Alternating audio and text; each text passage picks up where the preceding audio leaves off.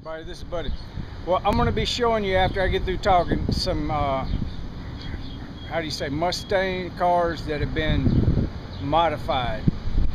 It's not a Mandela effect because it's not a, a production car. What these cars were, were done were purposely made to be station wagons. Mustang 65 and 66 Mustangs. Uh, I think they look good, but they're kind of weird looking. I have a a um, a memory for for seeing pictures. Like if I think of a turk a turkey, I can see every turkey picture I've ever seen. Now I'm dyslexic, so that's part of the the gift of being dyslexic. So it's not an eidetic memory, but it's a kind of like a photo photographic memory. And I'm going to tell you, I have looked at Mustangs all my life, seen books with Mustang pictures. I purposely have looked and searched Mustangs. I have never seen this till a week ago. Now these cars have been modified, some for years, some for several years. So for me, it's a Mandela effect because it never showed up until a week ago. Now what I'm going to say is this. I do believe the Mandela effect is growing in power and intensity. So what I'm saying is pretty soon we're going to walk outside our house and we're going to see a car drive by that we ain't never seen before. And people are going to say, well buddy, that car has been around for years. It's like it's like the Tucker, but this is going to be totally different and it's going to be have kept up with time and modernization. I can't tell you what the name of this car is going to be, but that's what's happening as we shifting into this higher vibration where our collective consciousness has in the past been corrupted is now being able to overflow into these multiverse multi-realities. Don't want to go too deep in all that but I do have people asking me to go deeper into my thinking about situations of what's happening in in the world in general I'm going to be looking at a way to do that and uh, make these videos where I can give you a little more background into how I came to be consciously aware of the difference of when I was asleep to then when I woke up and what it means to wake up. So check this video out and see if you've ever seen any Mustangs that look like this. If you have never seen them, it's a Mandela effect for you, but it's it's just a Mandela effect for us that uh, haven't seen them before.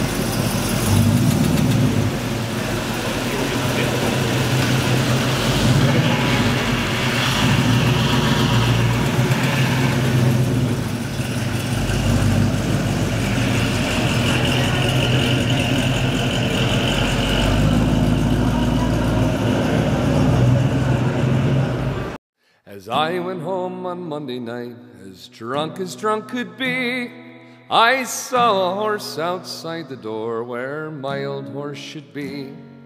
Well, I called my wife and I said to her, Will you kindly tell to me who owns that horse outside the door where my old horse should be?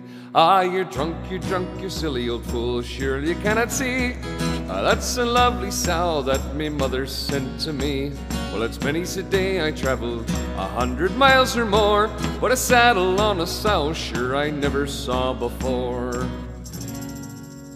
And as I went home on Tuesday night, as drunk as drunk could be, I saw a coat behind the door where my old coat should be.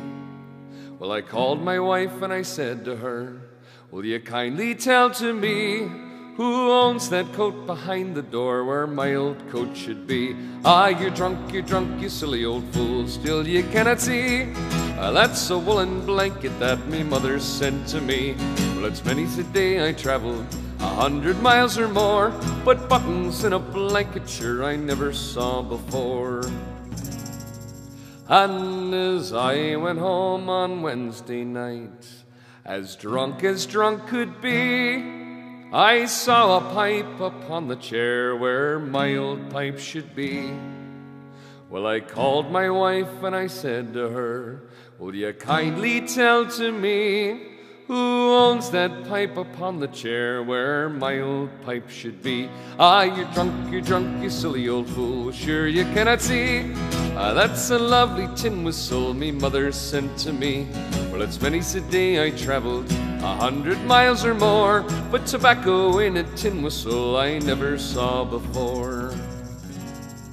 And as I went home on Thursday night, as drunk as drunk could be, I saw two boots beneath the bed where my old boots should be. Well, I called my wife and I said to her, Will you kindly tell to me who owns them boots beneath the bed where my old boots should be? Ah, you drunk, you drunk, you silly old fool, sure you cannot see. Uh, they're two lovely geranium pots me mother sent to me. Well, it's many a day I traveled a hundred miles or more, but laces in geranium pots I never saw before. And as I went home on Friday night, as drunk as drunk could be, I saw a head upon the bed where my old head should be. Well, I called my wife and I said to her, Will you kindly tell to me who owns that head upon the bed where my old head should be? Ah, you drunk, you drunk, you silly old fool, sure you cannot see. Ah, that's a baby boy that me mother said. It's unforgivable.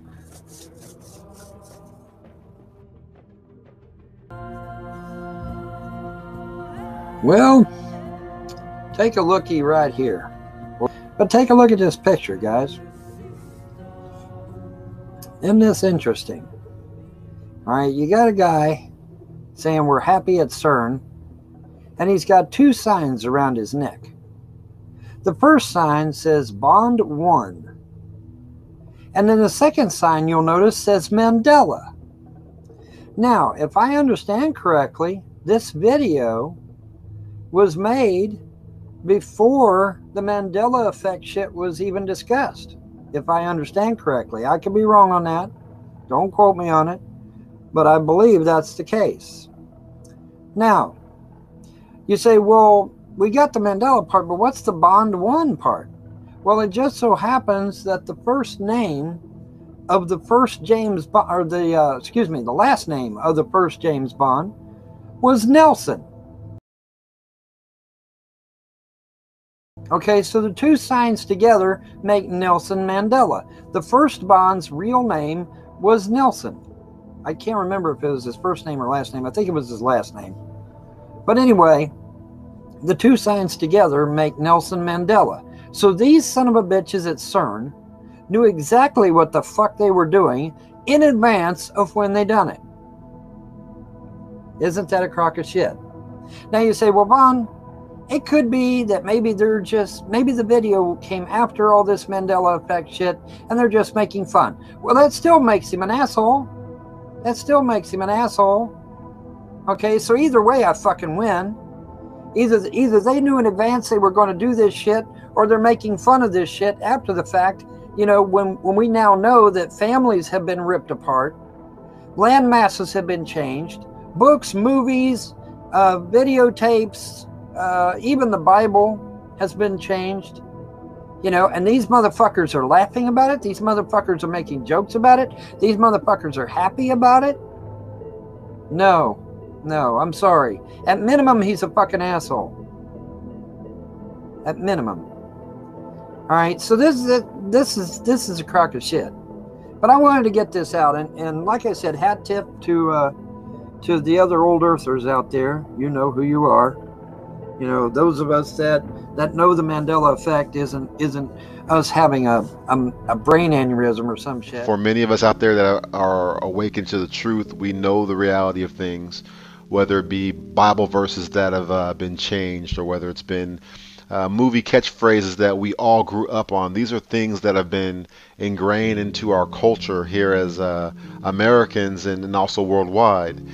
And, uh, you know, things from Star Wars or Forrest Gump, uh, the Berenstain Bears, um, just just a plethora of different things out there that have been turned upside down. And it's not so much the issue of a movie or a song or a TV show or theme song or a movie quote. That's not the issue. The issue is that we're not crazy. We're not crazy. We know what's going on. We know the truth. We know the truth of the Word of God. We know the truth when it comes to TV shows, movies, entertainment that we grew up on. Everybody knows that for Star Wars, it's Luke, I am your father, not no, I am your father. Uh, Forrest Gump, everybody knows the reality that life is like a box of chocolates. You never know what you're going to get, right? But yet, the doggone devil wants you to believe that no, you're crazy. Its life was like a box of chocolates. And you know what? By the power of the Holy Spirit, I feel I've been I've been afforded the opportunity to go ahead and, and expose the truth, the reality of things, uh, the way I see it. The devil, the enemy, CERN, the elite, the, the Illuminati, the Luciferians, the Satanists, these folks that are out there, uh, you know, dabbling in witchcraft and whatever the hell else they're up to in regards to this, this this great deception. I don't know what the hell they're up to, but I know this: the truth shall always be revealed. You can deceive, you could try to, you know, uh, you know, pull the wool over people's eyes. You could do try to do mass delusionment, but you know what? The truth will always prevail. And today, I have a perfect example for you. So right now I have listed up here, we have Forrest Gump. Everybody's seen this scene. And uh, this is actually filmed in one of my favorite places in America, which is uh, Savannah, Georgia. Beautiful place. So, most everyone remembers this scene with Forrest Gump sitting on this bench talking about life is like a box of chocolates, right? Mama always said life is like a box of chocolates. Well, with the Mandela effect, let's go ahead and play. Let's see what's going on here. Take a look. Hello.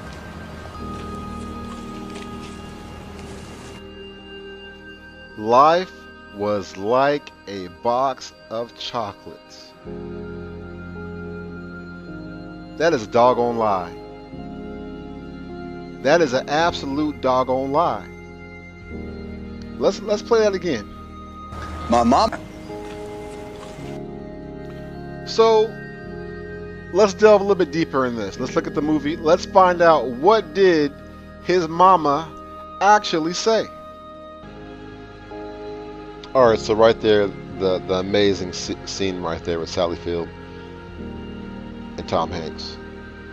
His mama says, "Life is a box of chocolates." Now I'm, I'm, gonna try to contain myself because I'm so angry right now. I'm so frustrated.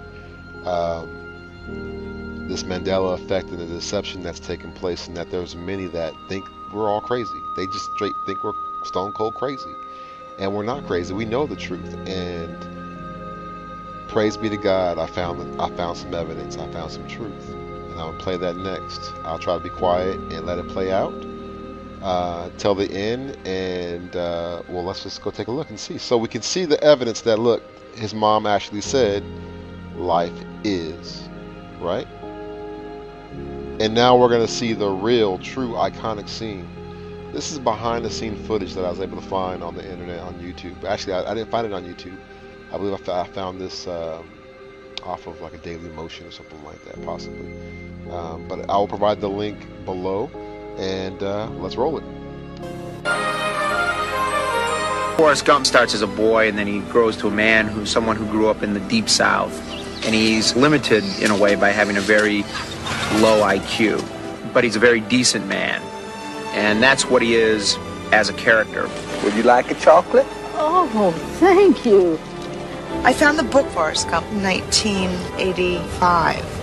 And I fell in love with it. I read the first line. And the first line of the book is being an idiot ain't no box of chocolates.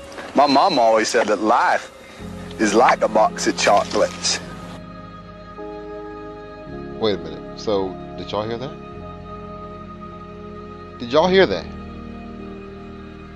You know, you know, maybe, maybe I'm mistaken, because that's the scene right there, right here, that myself, along with millions of others, heard, and remember. Right here. Let's play that again. We're going to play this a couple times. Let's do it. Life is like a box of chocolate. Said that life is like a box of chocolate. My mom always said that life is like a box of chocolates. You never know what you're going to get. So right there, y'all. I'm done. It's just, it's, it's, it, it angers me. It's too much. Um, I got more videos planned. Please share the word, share share these videos, uh, share these links, make your own videos. Get the word out about the Mandela effect because it is real. This is proof and evidence right here, right now, that something's going on. Millions upon millions of us remember seeing Forrest Gump and the iconic line, Life is like a box of chocolate but yet it's as though our reality got flipped upside down. But you know, praise be to God, He allowed me to be able to find this evidence, this proof, and provide it to the world to see. So please share this video, make your own videos, and let's get the word out about the truth behind the Mandela effect.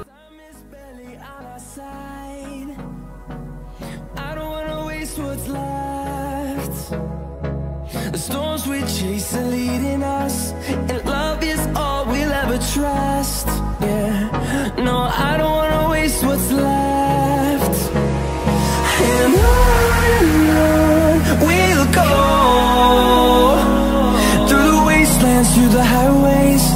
Till my shadow turns to sun rays And on